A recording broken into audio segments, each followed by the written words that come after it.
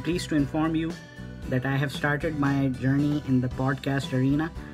Uh, today, I have uploaded my first ever podcast, which is basically an audio of my lecture that I gave uh, three years ago, thanks to the support from Jeddah Reads and uh, the Humming Tree community back in 2017.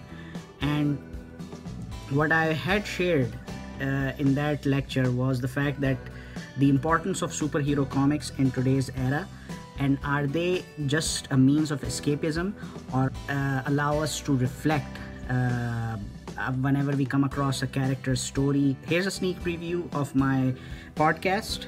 Make sure to visit the link i've mentioned here in uh, in the captions I'll be coming up with more and more on this as well, including interviews, just generic talks uh, that can add a lot of insight onto the superhero scene in Jeddah, in Saudi Arabia, as well as the Gulf region. Make sure to subscribe. Thank you very much for watching.